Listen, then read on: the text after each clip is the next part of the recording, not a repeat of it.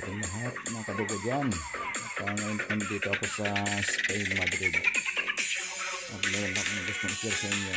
Itong na, isang napakalaking junk shop dito sa Spain. At um, yan o, uh, makikita ninyo. Yan ang mga slightly used na mga car engine. Nandyan lahat.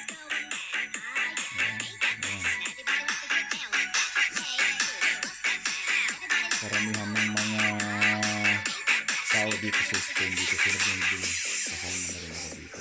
Pagka meron ako nais na sasakyan. Ayan. Porsche Honda lahat lahat lahat nandito sila. Napakaganda rito. Free po kayong pumasok din sa loob at uh, mangahoy ng mga spare parts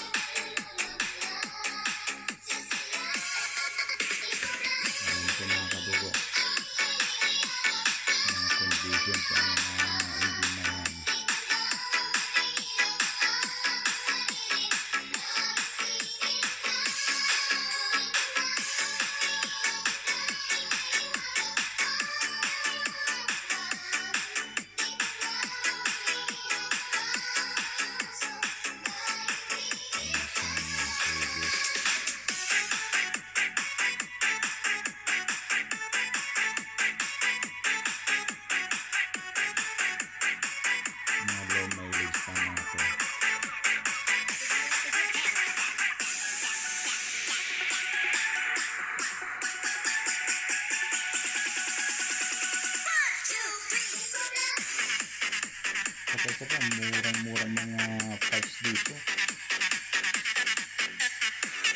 Talagang sulit kung dito kayo bibili.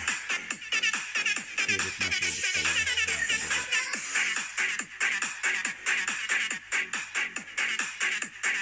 Halimbawa, yung mga maliliit na mga pyesa dyan, hindi mo yan pinababayaran sa